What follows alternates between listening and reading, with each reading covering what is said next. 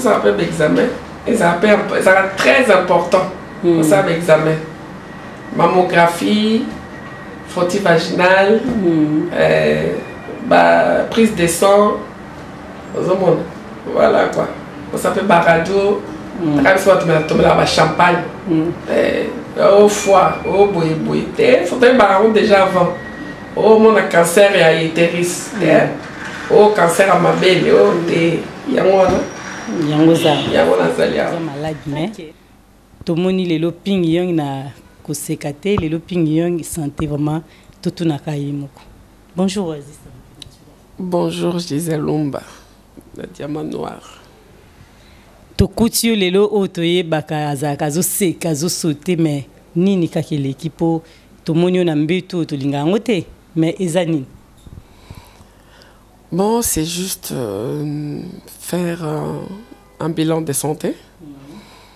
lokola nazalaki na kin donc nde nazongi fe nasala bilan de santé et puis euh, faire euh, le mammographie frottis vaginal et le cholestérol tension batalanga so naza na tension et puis euh, voilà quoi Mais nyoso toi ne senga ki yo va na mbetu oyo parce que bat bao landa ba bangi ba bi nini kaka po ba examen nyoso wana esenga kaka ko okota boye parce que okota depuis quand dejà poto tuna question. Bon na kota ki depuis euh, lobi lobi na kota ki lobi euh, parce qu'en fait je me sentais pas bien na osa ba poussée de fièvre et tout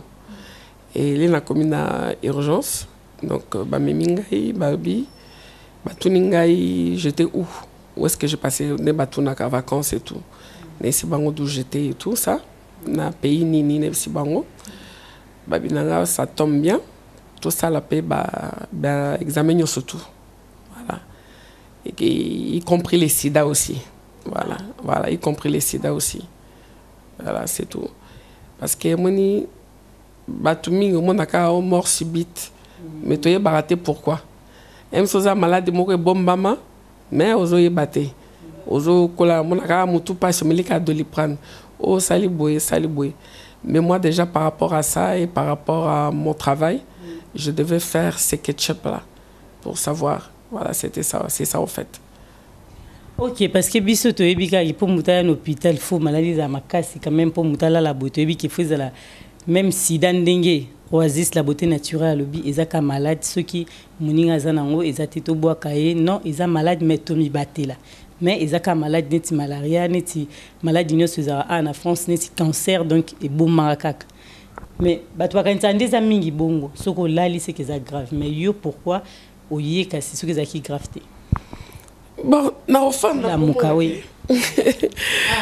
eza nango grave te donc eza grave te non eza nango grave te hmm. eza kaka ke comme je dis je, je pas encore me répéter je faisais des poussées de fièvre hmm. et puis après bon hmm, suite aux demandes de mon médecin traitant et puis bah, tout je venais de quel pays où j'ai passé mes vacances et tout bon voilà Donc c'était ça quoi. te nalobi mpo na bato oyo bakanisaka ke fo ezala makasi mpo moto alala ah, bacongolais non, non non pas du tout pas du tout eza que il fallait natikala sur place pour avoir euh, mes résultats mm. parce que soki scanner ezalaki ya kopasse ou soki nazalaki bien te mm. batraite nga mbala moko ke nazonga na ndako nayaka lisusu Mm. C'est par rapport à ça. En plus, moi, j'ai la mutuelle. Donc, quoi, ça me dérangeait ça me dérange pas du tout. Mais biso diamant oyo toyebi ete mokolo tokenda hôpital te mais okoyebisa biso nini mpo koyaka na hôpital tout le temps obe toyakaka obe toyakaka te parce que ngai natuni yo question oyo mpo toyambaki nayambaki eh, tonto lipordo oyo ya congo number one patron nango Alobaki mingi na poto bao kufa pona kozanga kosala ye misusu ba bilan de sante mais yo sikoyo ko loba neti nini? Euh, ça c'est vrai na complète na place ya tonton lipordo ndenge alobaki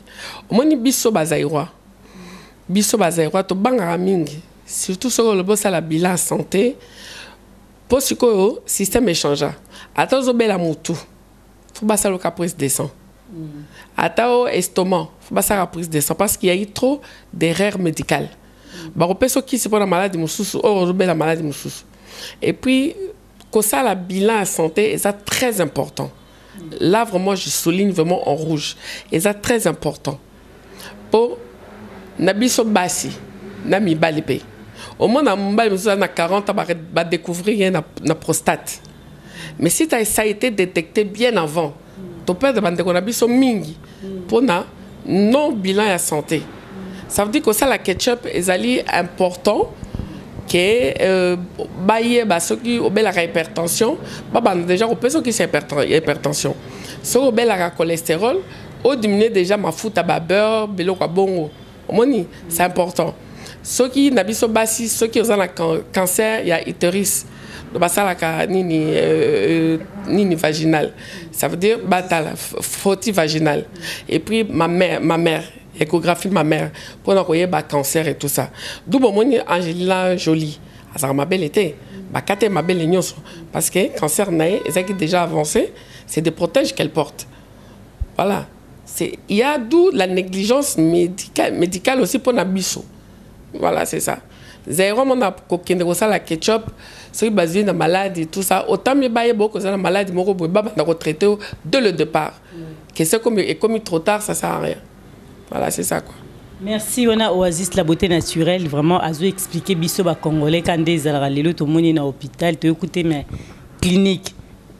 Oasis oza na kati ya clinique donc euh, yo penza ça va Bah omoni ti nanga moko na chambre donc naa na motu te to partager eloko moko te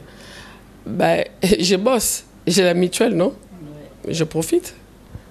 ok wana ezali kaka mwa eh, totya mwa mungwa mpe na émission parce que tolingi toyebisa biso bacongolais kasi oyo ntango tozobela tomonaka na kinshasa bato nyonso bakokufa na congo maladi kaka malaria Balobi bato bakokufa kaka na malaria na ba ndoki parce que naza na lisolo moko nako tuna yo mais nabi pona bato oyo balobaka kaka malaria na na ba ndoki moto eza na Congo yo sikoyo maloba epa na yo. Ah, malaria c'est vrai malaria na Congo bato bazo kufa mingi na malaria typhoïde aussi bazo kufa nango mingi. Tu crois qu'ils alaka ba maladies wana bango balobaka? Ben pour moi oui. Pour moi oui parce que nakendaka kini trop namonaka ba typhoïde wana lelo nani atuni eloko moko oasis la beauté naturelle totali ndeko na biso asala émission napesi ye mbote vraiment na kinshasa na congo na vie du public émission asalaki ezalaki vraiment bien napesi yo félicitation mon frère ntango moninga asali eloko ya bien faut tofélicite baémission nde toa nango besoin eza vraiment yango wana oyo diama noir A felicite yo eeh yo olobi nini pona emission wana oyo eleki ya papa azongisi bana kin maloba epa oasis la beaute naturelle. Bon je commence d'abord par saluer Vincent Tshiluizi na lingaka emission na ye mingi la voix du peuple ça edifie ça eduque et puis na moni akoti sous na makambo ya comment sur le mariage kobalisa et tout ça et natalaka yango mingi et napesi ye mbote ya mosika na collaboration na journaliste so baosala na ye vraiment eskize nga nkombo nabosani voilà. napesi ye mpe mbote natalaki yango lobi ouais, lobi natalaki émission wana ndenge bana na bazongisi bango pour moi c'est vraiment ça m'a fait ça m'a fait mal et j'étais choquée esali nga mpasi makasi parce que un naza nanu mama de deux acte wana soki nazalaki na ndeko na ngai mobali apoza yango to mobali na ngai apoza yango esimba te esali ngai vraiment mpasi komona bana wana qui ont à peine 10 ans je crois si je me trompe pas bana 10 ans et qui s'expriment qui ont vraiment parle esali nga mpasi komona ke euh, noko ozongisi baniese na yo na kisasa parce que pasteur soit disant pasteur moko boye akangi baniese na yo bandoki mais c'est le monde à l'envers pasteur nde akosalisa ndoki to pasteur nde akobanga akomobanga ndoki To na kozongisa bana wana na kin nde kindoki ekosila? Yango alingi natuna ah na poto nde toza boye basali ya nzambe baza ebele ba pasteur francis lola topesi mbote baza ebele ba pasteur na biso na kona na poto awa est ce que baza bango basambelaka nzambe yango bazala mibale to ezala moko mpona olinga nayeba mpo natuna question mosusu ekolandango ezala ba musulman Ezala ba musulmans, ba juifs, ba catholiques, ba protestants, tosambela kaka Nzambe moko. Merci. Pourquoi natuni Nzambe moko? Parce que pasteur soit disant en tout cas nga na bengi passer soit disant limbisa diama no akoti te mais na lobika parce que o sali o panzi pena libota pasteur tanga moni mwana zandoki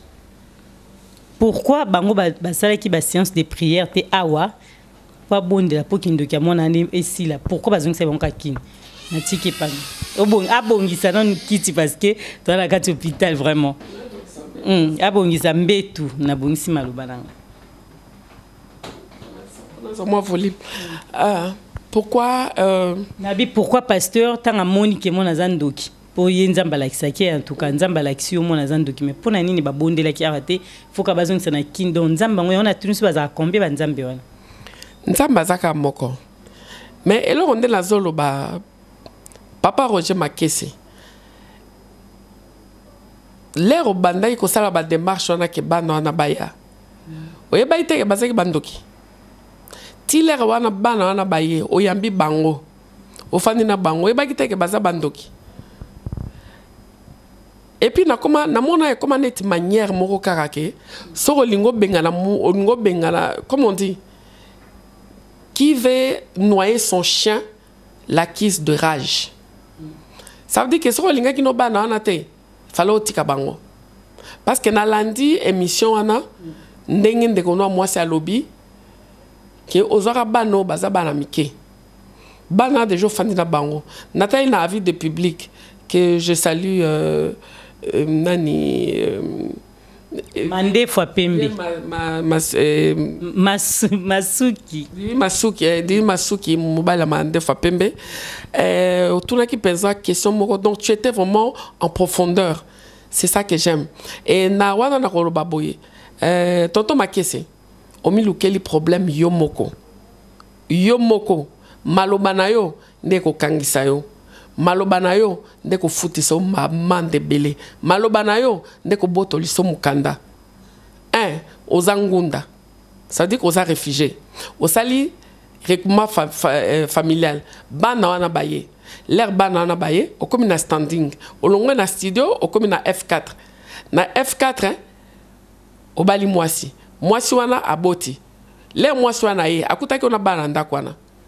Mais sikoyo yo olobi publiquement que bana wana baza ya yo te, bazali bana ya ndeko no ya mwasi. Mais yeba que libele wana oyo ya maman na bino azo lela lelo, yo omelaki, otikeli petite sœur na yo. Kobosana te que nous sommes des bantous. Nous sommes des bantous. Nga Je vais pas me meler mais je vais me meler parce que ekomi problème ya administratif na sens que bana wana basalaki rentree scolaire ozwaki mbongo na bango ya rentree scolaire oliaka allocation familiale na bango bachange yo ndako mpo na bana wana e lelo olobi ke non bana wana baza na kindoki ozongisi bango moi je vais dire ceci je m'adresse à la famille et ya Vincent tshiluizi bomitungisa na bino te bozwa bana wana bokende na bango na ambassade ya France parce que c'est l'ambassade de France qui a donné l'autorisation ya regroupement familial boke na bango na ambassade ya France bolobi ke bana oyo bazongisi bango na mese Roger Makese et vous allez voir ndenge mese Makese akobina vous allez voir ndenge akotoka un akosi mundele de deux alelaka bana mbongo et de trois azongisi bana wana na mukanda nini na tenant lieu et tenant lieu nani apesi ye tenant lieu wana je crois pas que c'est l'ambassade faux eza ambassade te po bana wana baza na mikanda papa na bango atake refugie sikoyo yo ozwi Ozongisi bana wana sikoyo mikanda otikali nango posa ya nini po bengisa bana ya mwasi no baza na Angola ekosimba te tant que moi oasis je suis là na pema oyo nzambe apesi nga bana wana baza na Angola bakoya te alors ozolinga obebisi makambo ya bato ebele na nsima na yo obebisi ebele baoyo basalaka regroupement familial babengisa bandeko na bango baya kotanga awa me mwana ndeko na yo nous sommes de bantou aza mwana na yo mwana ya ndeko na yo mwana leki na yo aza mwana na yo Mais comment lelo oloba publiquement que baza bana na ngai te? Mais l'heure yo osalaki regroupement familial obaki baza bana na yo? Okosi l'etat français yeba que eza punissable 30.000 euros d'amende et 6 ans d'emprisonnement. et ozo bazo botola yo mukanda okosi l'etat français bazo botola yo mukanda alors yokana à l'amiable zongisa bana wana avant Vincent Chilouise na, na leki no bakende na ambassade ya France babebisela yo mukanda mpo yo mpo ozonga kini me ngai nalandaki ye mpo natika oloba nalandaki eh, nalandaki moto yango oyo azongisi bana kini vraiment Namonaki emission moko awuti os namonaki azo sala direct moko alobi ke bana wana bakozonga ye atinda ye bango kaka po ba soigner bango mais sikoyo yo oza na detecteur te yango naye nayeba nde nini akoyeba ke bana wana malade esili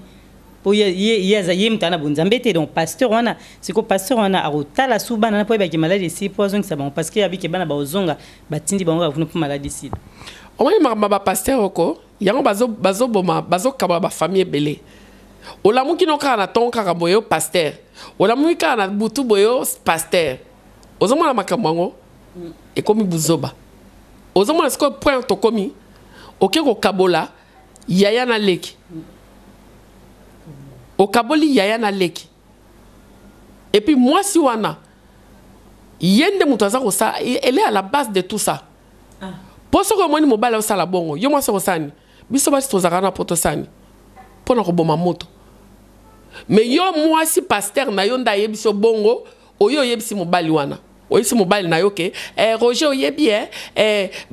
bana oyo baza na kindoki mais maman soki omoni ke bana baza na kindoki ça veut dire yo yo opumbwaka na bana wana po namoni ndenge olobaki ke bana ya lere baye balobi e immeuble molai ya ekokani lokola na baimmeuble ya angola yo otuni bango esiki bino bokenda angola Oh, mais eza masolo bana babetaka tele ya laisa. Donc ça veut dire que ndenge ba, ba, ba ndenge ba comparer immeuble. Ça veut dire que na butu bakendaka na Angola. C'est n'importe quoi. C'est vraiment n'importe quoi. Nga na lobi nde boye.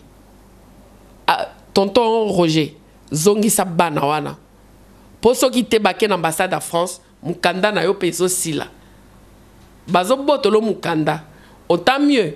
omoni te na lobi na français te na lobi na lingala na lobi na lingala bino ba zairois bozalaka bo pona nini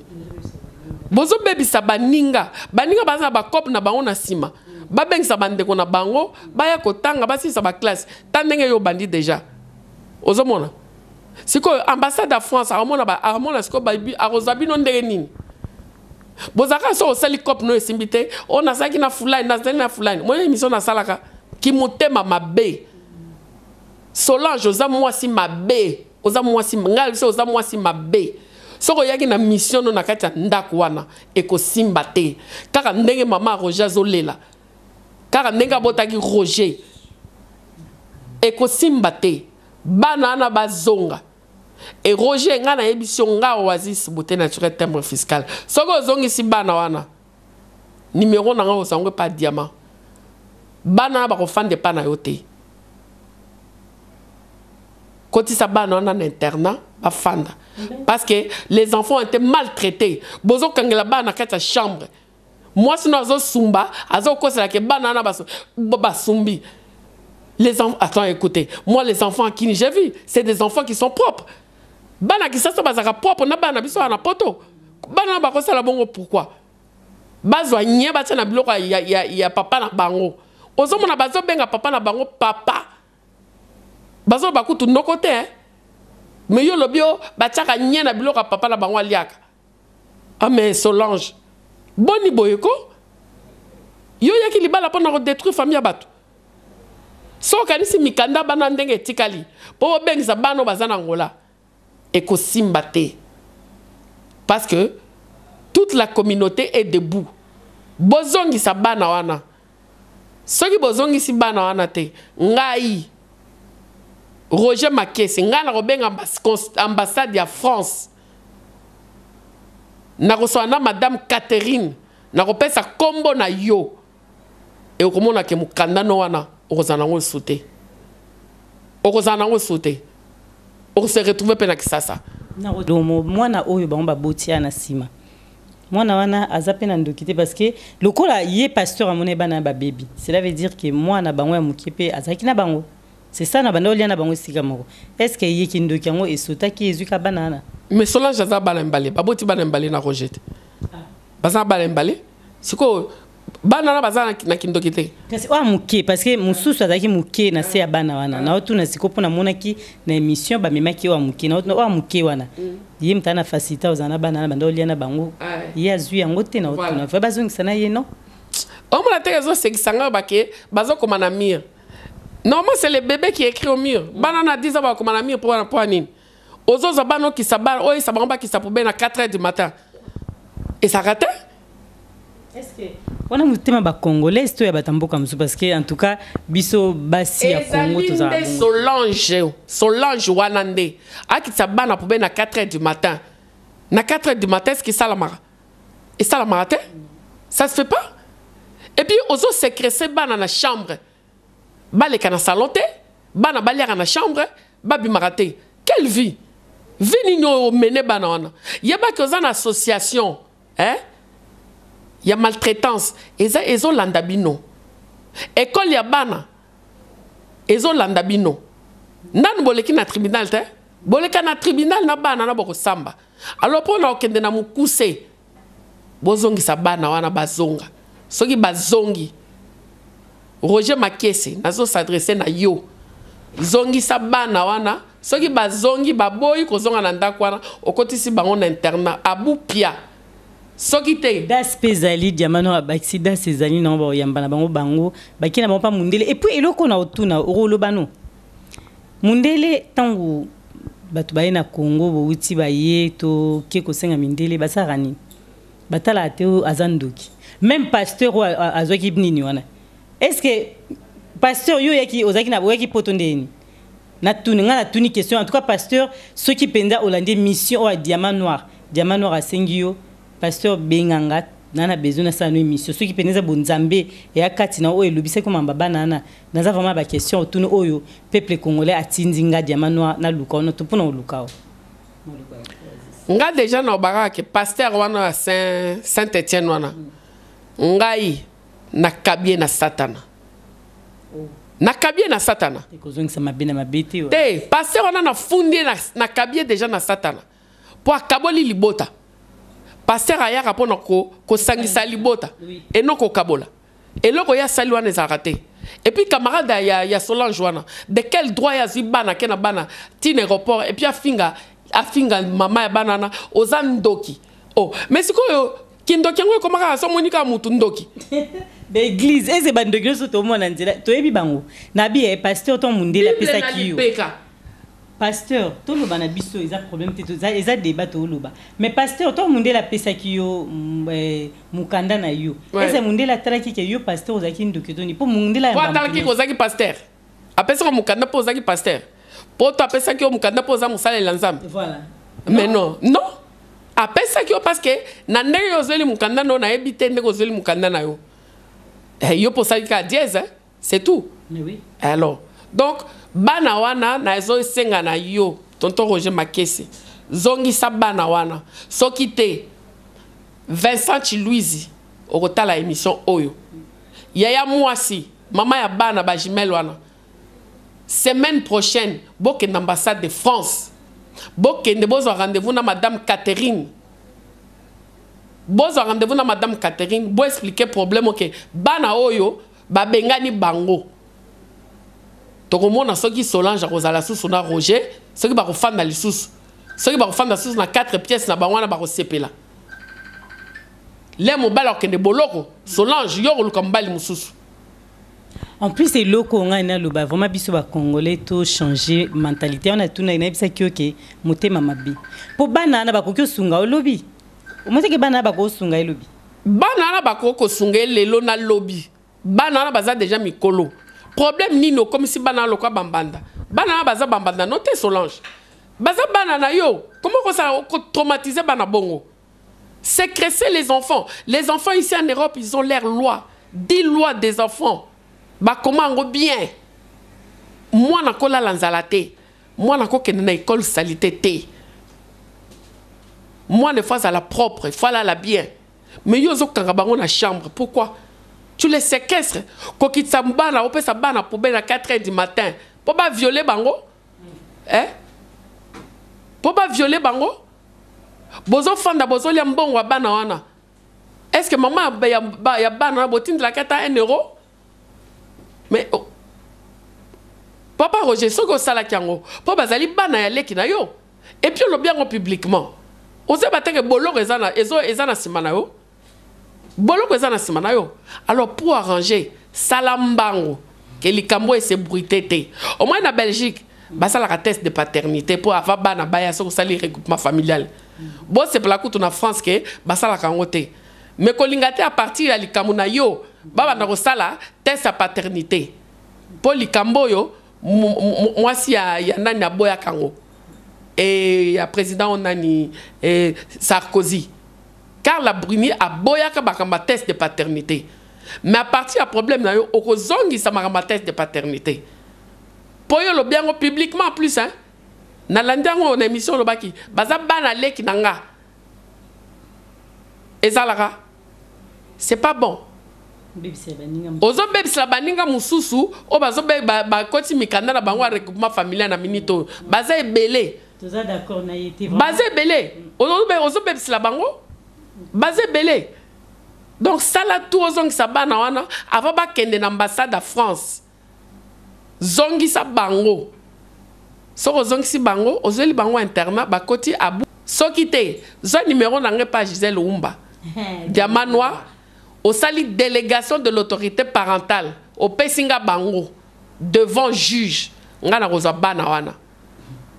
Oyebi que makambo oyo nazo tika Oasis la beaute naturelle alobi asengi na ye bana wana lokola yo omona bango ba ndoki vraiment biso nionso tozalaki wana batu na ngai baboya bango te mais tolobi boye pona ba ndeko ba ba emission ya boye namoni yango tobanda kosala mingi parce que batu ebele nga diamant noir babengi nga toza na likambo mosusu awa eza vraiment esalami awa na Lille mais tokoloba yango mbala sima po moyen toloba eza te kaka ya makambo ya ba congolais nde bazosala vraiment fille ya batu azalaki na, na Afrique babengi ya ye awa donc wana napesi bino kaka mwa ezala na tokosala yango mpo fille wana abengaki nga azolela mpenza ndenge mobali a azalaki mobali na ye te mais asoli na yaya basali cope babengi fille ya bato fille ya bato aya azosouffrir ya niveau ya suka fille wana azolela bi diamant noir donc moto wana makambo azosala nga eza impossible biso bacongolais toujours tochange tochange vraiment Po likambo oyo eza pasi soki oza maman oza papa oyebi pasi oyo bana na minute oyo bao lela nzala donc na ndimi te osepela na ngo. Osepela te? Bana baza dejà na classe ba camarade na bango bazo lela bango bazo bazo benga bango hein motema motema makasi ni yo Solange yo Solange mwasi ba balaka po asangisa libota mwasi ba balaka te po akabola libota donc yo esali yo plaisir bana ba mati avion bo mati bana avion na 10 heures bozo benga kuna eh bana bazo ya Bongo soki lelo yo Roger ozangaki maman na yo? Soki lelo Nzambe apesaki maman na makasi te ke a supporta mona ba koko na ye ndenge bazoya. Mais bana na baza koli te. Baza lipa te osombi awa na poto otindi to parfum otindeli mutu. Baza quand même bana ya ndeko na yo. Makila oyo ezokita oyo ezotanga ezotamba na veine na yo eza makila ezotanga na, na, na, na, na nzoto ya ndeko na mwasi ya mama ya mama mpasa wana papa na bino akufi mi penza ko kende na biso tokomi na suka parce que Oasis aza na hôpital mais omoni makambo eza pasi mpo na biso nyonso tout bana Congo mboka na biso eza na kimia te aye ti kotala nga ti na hôpital esali nga pasi en tant que maman hein? esali nga pasi mpo na nini bongo ozonyokola bana na ndako botortire bango bosekrese bango ebotie bango na avion boyebi moral ya bana wana ndenge eza Natura alobi bakende na ambassade. Bakende na ambassade ya France. Bakende kokutana na madame Catherine. Basola na ye. Soki bana na bazongi te, Vincent Chiluis bosala bongo. Po ye pe Roger babotole mukanda. Po akosi etat l'etat français. Alie mbongo ya l'etat français. Yo mukolo bana. Bokende mardi na ambassade ya France. Boke ko signaler que bana bango oyo babengani bango na nani? Dossier eza na ambassade ya France. Boko okomona ndeko na mobali akozonga pe na kisasa. Avant azonga akokota nanu boloko. Totala soki Solange wana akozela ye lisusu. Voilà vraiment biso nioso tout ba congolais naye ko comprendre que congolais aza na bolingo po likambo oyo namoni etungisi mitema ya bato nioso tout biso toyoki pasi toyoki vraiment pasi na mitema etant ba maman na ba papa na ba yaya na ba leki bato bawuti pasi ya bana oh. Bruxelles na moni bato bawuti Bruxelles bawuti eh, ba, ba nini ba, ba, ba eh, Lille bawuti ba Canada kaka mpo na likambo oyo mais non quand même ezosala pasi ya eh, na milie na biso ba congolais pemisa mokongo parce que voilà oyebi ke nayebi ke soki eh, médecin nasengaki ye mpona vraiment mpo tozwa image oasis aza na hôpital mais tozwi quand même mpo aza maman ayoki mpasi oyo eleki Vincent vraiment merci pona emission oyo biso diamant noir tosali mpenza mpo yo bandaki yango eza bien bapasi makambo ya boye bapasteur eh, vraiment oyo ya bien oyo booteya biso maloba nzambe bozala oyo boye mpo na eh, koboma biso na bamabota bobebisa bochange maloba moko ya suka mpo na bapasteur mpo tosukisa na biso ngai napesi mbote na bapasteur ya solo oyo basalelaka nzambe na bosolo bobenga pasteur wana boyebisa ye azongisa bana bato asalela nzambe ya solo ndenge bino bozosambela nalobi na bapasteur bazosambela na bosolo naboyi kotanga bakombo na bino mpo na ye mpo nasala publicité te bana wana nasengi na nkombo ya nzambe na bolingo nyonso boza nango Kotinda mbongo c'est bien bakolia mais ce n'est pas suffisant bana wana il faut bazonga na poto faut bazonga na poto batikala na kini te bazonga na poto voilà. merci nde eza boye anniversaire oasis Bientot le 4 mai lelo aza na hopital na obanga po ba champagne na sombi dejà tozo banga feti ezala te diamant noir aya omela wapi mais na oyebisa pe bino bato bolinga diamant noir ba bonnet ya diamant noir oyo bozalaka penza ebele sika bozali bozwami pona kolanda diamant noir TV bo s'abonna na bino diamant noir asengaka ba bonnet toza na besoin bakoma ba 1 million d'abonnet donc toza toujours wana ebele toza vraiment mois prochaine bobosana pe te Diamant Noir pa yebisi bino anniversaire Oasis le 4 ya nga le 8 novembre. Le 4 novembre anniversaire na nga. Et le 8 novembre anniversaire, anniversaire ya Diamant Noir. Vraiment voilà. bato balingaka biso tozela ba ba cadeau parce que tozali na hôpital émission oyo oh, mais ouais. toya hein mm. na Los Angeles bozela biso le 14 novembre toa na Los Angeles. Yes. Après to kenda Suède après anniversaire. Voilà donc bana ya Etats Unis mm. bozela biso na Los Angeles le 14 toza wana mm. to wana bino elongo eh tozo ya nde zaka diamant noir aokita na Los Angeles après tokende Suède. Suède na Oasis. Après Suède Italie. Ba voyage eza ebele ouais. mais tobongisi nano mibale wana bozela biso bela ba bisous bisous bisous bisous. Tomoni ke malgré que naza na hôpital mais mm. naza na pona bino. po bolingaka bolingaka nga bolandaka ba emission na nga ti baye oluka nga ti na hopital donc naza kaka wana po na bino po bino nde bosalaka ke nga nazala voilà yango wana merci beaucoup naza na nga bien bomitungisa te ah, obima obima kan tosukisa nabima mardi mardi toya ozwa ye susu mardi nasepeli na tuka babondebobondela mpo na oasis bobondela mpo na ye malgrebobondelaka bobondelaka merci beaucoup merci beaucoup bomitungisa te mm. c'était juste une check-up et tout voilà c'est tout voilà je vous adore je vous aime tous je suis là pour vous ciao